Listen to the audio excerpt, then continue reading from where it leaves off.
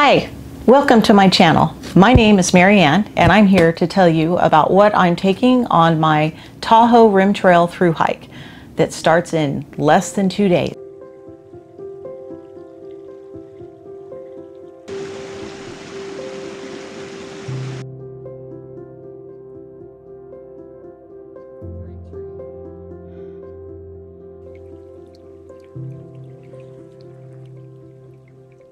This Tahoe Rim Trail circumvents the Lake Tahoe in California. It's approximately 170 miles of uh, High Sierra Bliss and I'm going with a couple other friends of mine and I hope that you will stay tuned because I'll be putting together some videos or a video on our hike and our adventure on that coming up soon.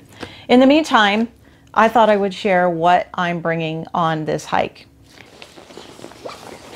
This is my backpack. It is a Hyperlite Mountain Gear Southwest 3400 and I have it loaded. So let's start going through what's in my pack. To start, I have two hiking poles. These are Foxelli carbon fiber poles. Um, I need these for two things. One is to save my old hips and the other is uh, to hold up my tent. I have a poleless tent that I'll show you in a bit because it's buried inside. This is a Gossamer Gear umbrella. I can put this over my head and I'll be nice and cool and, um, and it works really great. So that's going with me. This is my backpack. It is a Hyperlite Mountain Gear Southwest 3400 and I have it loaded. So let's start going through what's in my pack. All right, first things, my camp shoes, water crossing shoes. These are the Xero sandals. They're super lightweight. It's nice because you can wear socks with them and uh, they're very comfortable. I have about two pounds worth of batteries, a power bank, some extra memory cards for some of my electronics. Um, I will be shooting with an iPhone uh, 12 Pro Max and then I have a GoPro Hero 9 and a GoPro Max 360 that will be accompanying me on this trip. If you're not filming, you won't require this and you'll save a couple pounds. I have, of course, a map of the Tahoe Rim Trail. Um, that's going to come in handy. And one of the best resources I have found is a second edition of the Tahoe Rim Trail uh, Pocket Atlas, and it's uh, made done by Erik the Black. Um, you can get this online. This is very good. They all, he also does them for a lot of the other big trails, the John Muir Trail, the Pacific Crest Trail, the Continental Divide Trail, Appalachian Trail, etc. But I have marked out on here with the little stickies what day we will be um, on each section because our itinerary does not match what he starts. So we're going to be starting at Kingsbury South and hiking clockwise around the lake. Important, a Garmin InReach. This could be a lifesaver and I will be using this to track where I'm at, to communicate with my loved ones, and um, hopefully never have to use the SOS button. A Katadyn water filtration system, uh, the gravity system. I love this. It's so awesome to be able to put water, hang it up, and let gravity feed it through the filter and fill up my water bottles. I also have, in addition to the three liters to filter, um, I will use this three liter um, bladder because we have a couple of very long carries where there's no water. We're going to be hiking along the rim of the Ta of Lake Tahoe and because this is such a dry year on in California, there's not a lot of seasonal lakes or creeks that are um, that have water right now. So we've got at least two dry camps and that three liters is gonna come in mighty handy. Of course, I have my first aid or my emergency kit, which includes first aid supplies. Um, I have some medications like ibuprofen, Imodium, and things like that. I also have bandages in case someone gets injured, and I have leukotape uh, that came in really handy when I did the High Sierra Trail, and on day four I sprained my ankle and had to walk another 35 miles on it. That was not fun. So it can be a, a hike saver for sure. Uh, mosquitoes are out, they're out in force, and I'm expecting that they're going to want to eat on me, so I have some 100% DEET. I've noticed that the permethrin doesn't seem to, all my clothes are treated with that. The permethrin doesn't seem to do the job, so I brought some DEET to spray on the little buggers so they stay off me. I have my bathroom kit. In here I have a deuce of spades trowel. I have a baggie that I use for used toilet paper. I hope you all are, try, are taking out, packing out your used toilet paper. I know it sounds gross, but there is nothing worse than seeing toilet paper all over the forest floor and dookie on it. So please take out your stuff, okay? Um, I also have some hand sanitizer and some wet wipes. They all, everything that is paper product will come out with me. And I have a dark plastic um, Ziploc bag. It looks like a Ziploc bag that you can't see through that I'll be putting my used TP in. So, and I have additional bags in my resupply. So over here, I have my, if I can get this out, I have my tripod with a really awesome thing here. This is a snap mount. Um, what's beautiful about this is it's interchangeable. I put my iPhone on here. I can snap it here. I have one that is a neck mount that I'll show in a sec. I can actually put it here. I can put it on a pack strap. I can put it on a limb where the limb goes in between here and you snap it to it and it'll hold the camera there. This works really well. The tripod does extend a little bit, um, but this is super small. It weighs a little over a pound and it's worth the sacrifice, especially when I'm doing low light photography. So that is awesome. I have water bottle. I will have another water, bo water bottle on this side. I use this for my electrolytes. I found this little gem on Amazon and a couple years ago I've looked for it since and I can't seem to find the same model. They discontinued it. But this thing works so well. I have a tendency to not drink enough water and this really helped because it's so convenient. I don't have to reach around in my pack and you know, get all contorted in order to pull the water bottle out or bug someone to take my water out. So this is a lifesaver. I don't like using a bladder. I had an issue a couple hikes ago where I was using a bladder. I didn't realize I did not have enough and I ran out and I still had four miles in the hot sun in a canyon and it was the most unpleasant thing I think I've ever experienced. You don't want to get dehydrated out there. So this is what I use. Um, okay, I think I've got one more thing here. A mosquito head net. The mosquitoes are out. It is early summer and they're especially hungry now. So I'm going to be using that, I'm sure, when we come into camp. I also have a little handkerchief here from Sequoia National Park. Um, I use this for several things. One is to wipe off the sweat. Um, if I'm not wearing my sun shirt, I want to, you know, maybe wet it down. I can put it around my neck. There's a lot of uses for this. So, um, or at night I can cover my eyes to keep the moon out. So the moonlight. We're going to have a full moon on our hike too. So that will be pleasant, I'm sure. All right, inside. Oh, one more thing. I'll turn this around. So on the front, I have. I don't know if you can see this, so I'll pull it up. I have a, a holder here for another bottle of water.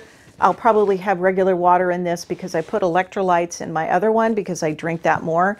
And then I also have my Max 360 mounted here. These are just little bungee cords that I use and they work really well to keep it kind of hanging here tight so it doesn't flap all over the place and it's easily accessible. In my pockets I have lip balm. It's uh, got an SPF with it because your lips will get fried. Uh, apparently I need to blow my nose a lot because I have two things of Kleenex. I'll have to clean that out. And then in here I put my my car keys, my uh, credit cards, some cash, etc. Um, that will go in there. And then once I'm uh, in, you know, at night, I'll put it in my um, in my bear canister. So, oh, I keep an extra quarter in there because a coin is required to open my bear canister. So I have lost my coins and had to find something that would let me get in. Um, here I have my GoPro. So I was mentioning my neck mount. This thing is awesome. I use this to keep it protected. I don't want to scratch the lens, but this goes around your neck. And you can do one of two things. So this pops off and you can use it like this and like put it across your sternum strap and then you can click it here and it will hold it and you can modify this. So if you want it to be higher or lower like if you're going uphill you want it to be up higher. If you're going downhill you can turn it down lower. So it works really well. I'm thrilled with this system. Uh, I've been using it now for I don't know about six months or so and I can't imagine having lived without it. All right so I've gone through all the external stuff. I also have an X-Lite pad that you'll see here um, I use this for, I like to keep it on the outside because if I'm like taking a midday, midday break, I want to stretch out or something, this thing comes in so handy. Have my sunglass case. I don't want to mess up my Maui Jims. So they've been, I've had these things for like five years. I just love these things. So I have my tent stakes. I have my rain jacket and out of all of the times that I have been on backpacking trips, the longest one was seven days when I did the High Sierra Trail. I have not needed to use this thing, even though snow or thunderstorms were in the forecast. Thunderstorms are in the forecast the first two days that we're out. So we'll see if I need it. I hope I didn't just jinx myself by saying that, but I wouldn't mind a thunderstorm or two as long as, you know, it's not too bad. I have a piece of Tyvek that I use. Um, I keep this at the top of my pack because I like to lay this on the ground. I can dump my pack and everything else on it as I'm unpacking uh, before I set up my tent. And then once I set up my tent, this goes under the vestibule and I like to put my shoes and whatever else that you know I'm going to leave on the outside of my tent and it keeps everything a little cleaner and then you only have to worry about this Hyperlite mountain gear Dirigo 2 that I love. I've had this for over a year, year and a half now. It's a great tent. It's big enough for me to bring all of my paraphernalia into the tent um, because I have a lot of camera gear, um, usually more than what I'm taking this on this trip, but um, it fits that and I have plenty of room to move around and, you know, fight bears if I need to. All right, now for my one of my favorite items when I get into camp. It's a Helinox Chair Zero uh, it weighs less than a pound without the stuff sack. So I have this little zip, or what do you call it, uh, Velcro thing to keep it tight. But this is like really makes me happy at the end of the day. I know it weighs a pound, but I'm willing to sacrifice that in order to have something to rest my back against. So when you get old, you need this. I have my Nemo Tensor sleeping pad. Uh, this thing works really well I like that it ha has a little extra padding in it for my hips. So this in combination with the Thermarest is a really comfortable sleep. Mountain Hardwear down puffy. Sorry, this is not cooperating. So I don't know that I'll need this very often, but you never know. The Sierras can be very fickle. It could be 70 degrees one day and 50 the next, so I'll be prepared. The next item up is my bear canister. So I will be carrying a bear canister throughout this hike. I know a lot of people don't like carrying them. They are not required on the Tahoe Rim Trail. However, I've seen a lot of like Ursacks that have been shredded by some of these black bears. Uh, Yogi's pretty smart up there and you know you don't want to be out in the middle like five days out on your hike and then lose all your food because a bear slobbered and chewed on it. So I'm planning to put uh, all of my food in here, um, in addition to a few other items. I have my earplugs. These will probably go, obviously come out at night, but I don't need them during the day, so they will be inside here. I keep all of my cables, my charging cables in here. I've got quite a few things to charge. My spoon, which I love. A towel to dry off because I'm planning on taking a few baths in some lakes when we get to them. Some sunblock, although I won't be using that as much. I have a sun shirt that I wear pretty much all day. I have a headlamp. I have some moisturizer And I have a little collapsible cup, which we'll see how often I use that. But that's everything that's extra in my bear canister, other than food. And finally, last but not least, have my waterproof compression sack that contains a, okay, two pillows. One of them is rather fluffy that takes up about this much room.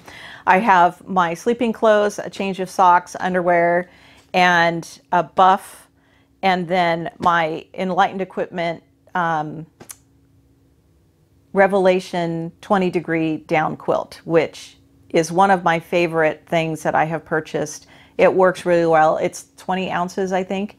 So um, I have only been cold in it once, and that was when I went winter camping, and I did not bring enough layers, so that was rather dumb of me. But it serves has served me well. I've had this for like three years, I think. So that is everything in my backpack. So I thought I would talk briefly about what I'm wearing. So I have some new kicks. These are the um, Altra Lone Peak 5s. I've been wearing the 4.5, but I thought I would try these. They've gotten really great reviews. So, uh, and I like the purple color. I mean, geez. And look, they even match my Dirty Girl gaiters, which I never hike without. I will, of course, be wearing the Injinji toe socks. There's two. I dropped one. Uh, these work really great. I have, I'm not going to say it, but so far, no issues with my feet. I'm not going to talk about the blister thing. Um, I wear sun gloves to protect my hands. I have my Pacific Crest Trail hat that I won in a raffle that I love. And this was deposited on me no poop either. It was just the feather by a raven when I was in Yosemite hiking Half Dome. So that's got to go with me. I hope it's good luck. And then last but not least, or almost last but not least, I have my sun shirt. Um, this is an ExOfficio Sol Cool, whatever, blah, blah, blah, sun shirt. It's got a hood on it. I really like using this because I hate, hate, hate with a passion sunblock. And this allows me to avoid putting that on my face. Well, I still put it on my face, but on my arms and etc. I wear leggings. So pretty much 98% of me is covered up with the exception of this and my fingertips. So um, I've worn this several times, even in some pretty hot weather, and it works really well. It seems like when you sweat, it actually has a cooling effect, and I really like that. So I've got that.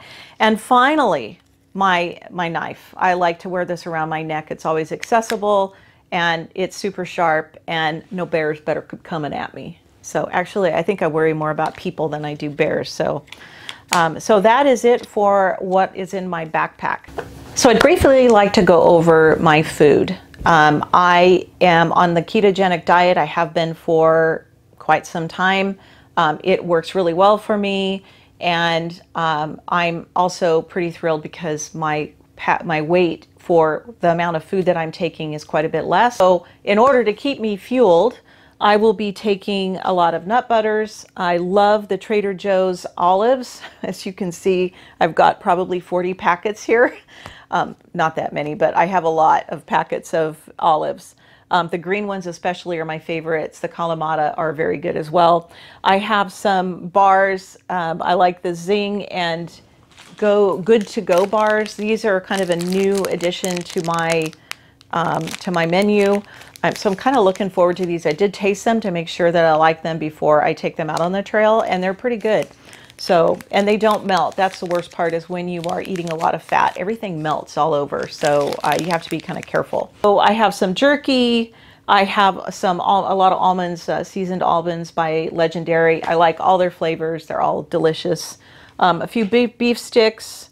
Um, I have Zip-Fizz that I'll be using in the mornings uh, to give me that caffeine fix. Uh, we're going to be starting the trail pretty early in the morning between 6 and 6.30 and um, that is because it is freaking hotter than Hades here in California Even in the Sierra, I was up in Tahoe uh, last week and it was like 90 degrees, and that's really hot for that area. So, to that end, I'm also going to make sure that I get plenty of electrolytes. That's key on a ketogenic diet.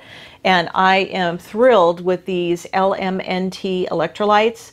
Um, they have the highest ratio of calcium, magnesium, and potassium, and they work really well for me. I sweat a lot, and this helps to keep things replenished. They also have a new flavor, watermelon. Oh my God, it is so good. So it's like it's like eating salted watermelon, only you're drinking it. It's my favorite but they have other flavors as well. Other than that, I have a couple bags of pickles, which are shelf stable. I'm going to be trying those out. Hopefully they'll taste good. My taste buds when I'm out on trail seems to be a little weird. So we'll see how this goes. Um, hopefully I like them and not just packing them and looking at them every day wishing I didn't pack them. So if you have any questions about any of my gear or any of my food, or about this trail, please don't hesitate to leave me a comment below. I will get to you and answer you as soon as I possibly can. I think I'm going to have a signal here and there up in Tahoe, so if it comes in after I have posted this video, I'll try and reply to you. And um, check back in a few weeks. I will have at least part one of my adventure with my friends uh, posted on YouTube. So uh, if you haven't already, and you enjoyed this video, hit the like button. And if you'd like to see more, please hit that subscribe button. And for immediate notifications, hit that little bell and you'll receive a notification every time I post a video. Thank you so much for taking the time out of your day to watch this. And um, I hope to hear from you. Thanks.